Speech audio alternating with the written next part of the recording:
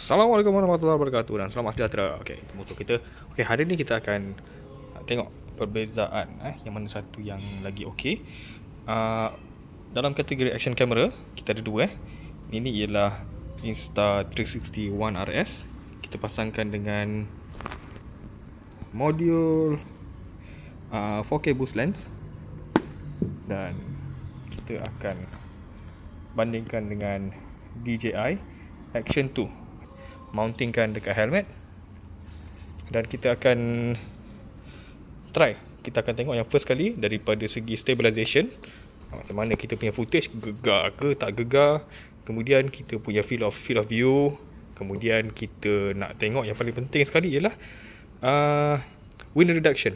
Okay, nak dengar bunyi dia macam mana?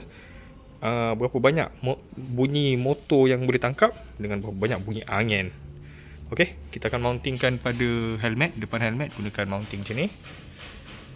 Jadi jom kita akan cuba pasangkan